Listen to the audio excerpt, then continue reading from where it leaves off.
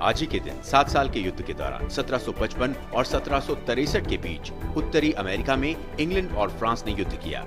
हालाँकि इस युद्ध में ब्रिटेन ने विजय प्राप्त की थी। आज ही के दिन 1948 में देश के पहले उप प्रधानमंत्री सरदार वल्लभ भाई पटेल ने हैदराबाद को भारतीय संघ में एकीकृत करने के लिए सेना को हैदराबाद पर कार्रवाई करने का आदेश दिया था। आज ही के दिन 1948 में यूएस हाउस ऑफ़ रिप्रेजेंटेटिव्स में रिपब्लिकन मार्गरेट चेस स्मिथ को अमेरिकी सेनेट के लिए चुना गया था, जो कांग्रेस के दोनों सदनों में योगदान देने वाली पहली महिला बनी।